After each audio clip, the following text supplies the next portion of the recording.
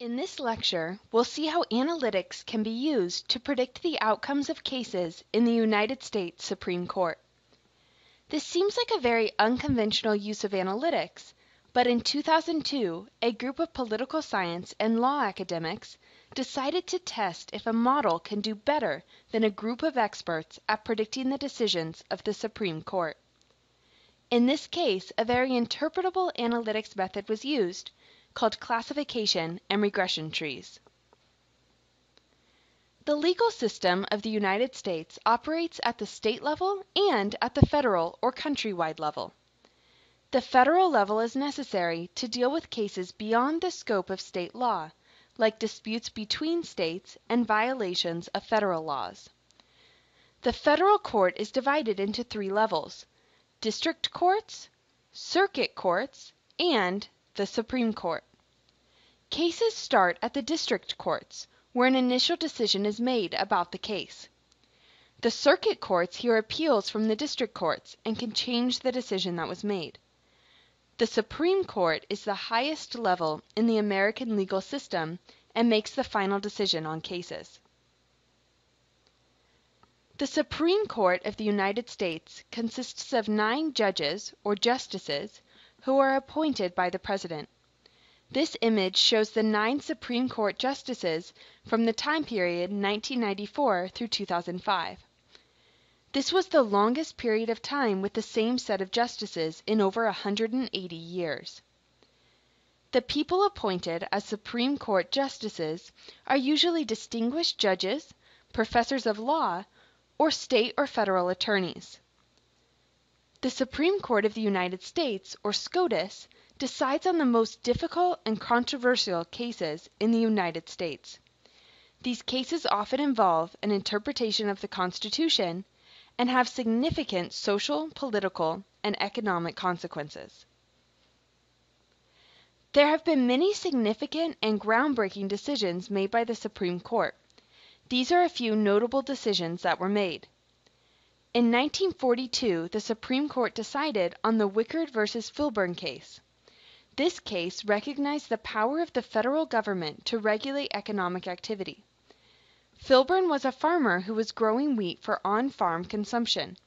However, the U.S. had established limits on wheat production, and Filburn was exceeding those limits. So even though the extra wheat he was producing was for his own use and he had no intention of selling it, he was forced to destroy it. In 1973 the Supreme Court decided on the Roe v. Wade case, one of the most well known cases to this day. They decided to legalize abortion, and by doing this, prompted a national debate that continues today about the legality of abortion. In 2000, the Supreme Court actually decided the outcome of the presidential election. The race was so close in the state of Florida that a recount of the ballots was required. But the Florida Secretary of State certified that President Bush was the winner before the recount could be completed. The case then went to the Supreme Court, where it was ruled that all ballots needed to be recounted. But since this could not be done before the winner had to be declared, President Bush won the state of Florida and thus the presidency.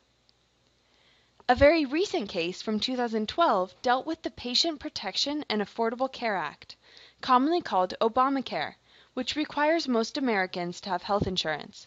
The Supreme Court upheld this requirement. Since nonprofits, voters, and anybody interested in long term planning can benefit from knowing the outcomes of the Supreme Court cases before they happen, legal academics and political scientists regularly make predictions of Supreme Court decisions from detailed studies of the cases and individual justices. In 2002, Andrew Martin, a professor of political science at Washington University in St. Louis, decided to instead predict decisions using a statistical model built from data. Together with his colleagues, he decided to test the model against a panel of experts. They wanted to see if an analytical model could outperform the expertise and intuition of a large group of experts. Martin used a method called classification and regression trees, or CART. In this case, the outcome is binary. Will the Supreme Court affirm the case or reject the case? He could have used logistic regression for this, but logistic regression models are not easily interpretable. The model coefficients in logistic regression indicate the importance and relative effect of variables, but do not give a simple explanation of how a decision is made. In this lecture we'll discuss the method of CART and a related method called random forests. We will then see if these methods can actually outperform experts in predicting the outcome of Supreme Court cases.